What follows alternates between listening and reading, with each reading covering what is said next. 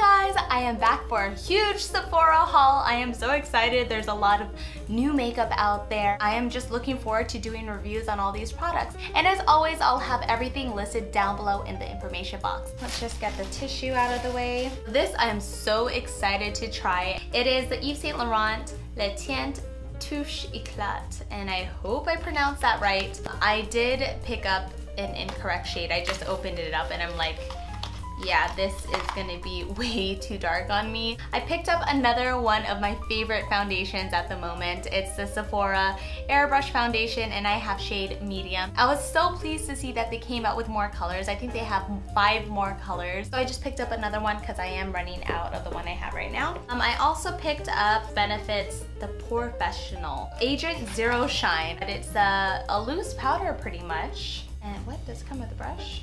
Twist off brush. Oh, there is a brush. Hey, look how neat that is. It's kind of cute. You open it up and then swirl around your brush. Huh. It's kind of a small dense brush. We'll see how this works. I don't know. I'm gonna have to try this out. Uh-oh. I could tell this is gonna be a struggle. Putting the brush back in. How do you put the brush back in without ruining the brush?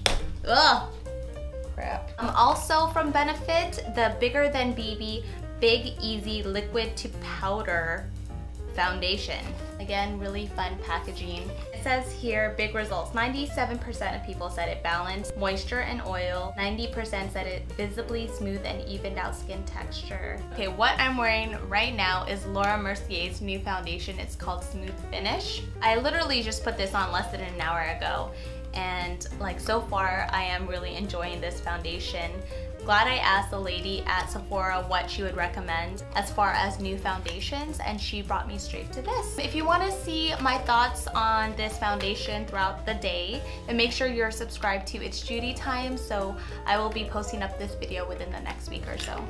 And then I picked up a fragrance. This is Grace, Living Grace by Philosophy. And I just thought it was time that I try a new perfume now that my hormones are kind of back to normal and I'm not like sensitive to scents and it smells really fresh. Oh, these are, I am so excited to try these. These are the new Too Faced Melted Lip Colors.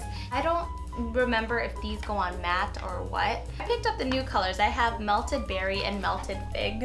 And I do plan on doing reviews on pretty much all these items that I'm showing you. And then lastly, I picked up the Makeup Forever Professional Sculpting Kit. It's nice to have like a highlighter and contour all in one. It just seemed travel friendly and it's nice and compact. One of my favorite bronzers right now, or it's been forever, the Physicians Formula, and it's just so bulky. It's just not very travel friendly. Anyway, I will be bringing this on my trip that I'm going to tomorrow. And that is it for my Sephora haul. Let me know your thoughts on the products that I got. I do plan on doing reviews on everything I purchased. If there is something that you really want to see a review on, let me know in the comments below. Maybe do uh, in order from one to five which one you would like to see first. Don't forget to check out my other channels, my vlog channel called It's Judy's Life where I vlog every single day and also my mommy channel where I talk about mommy stuff. I have five month old twins and an almost two year old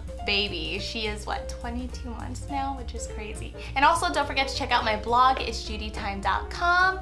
And that's enough plugs for now, so I will catch you guys later. Bye!